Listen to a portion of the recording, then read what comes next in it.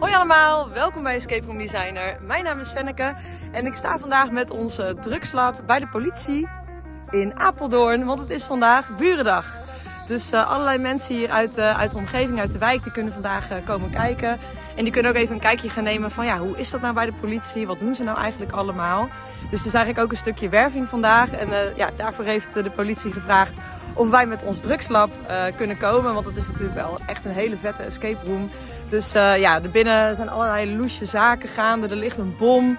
Het is eigenlijk gewoon een soort van crystal meth lab. En de mensen die moeten daar dus binnen een spel spelen, die bommen onschadelijk proberen te maken. Ja, en dan kan de politie meteen ook even kijken wat ze precies in hun mars hebben. Nou, ben je nou nieuwsgierig geworden? Dan zou ik zo zeggen, ga je mee?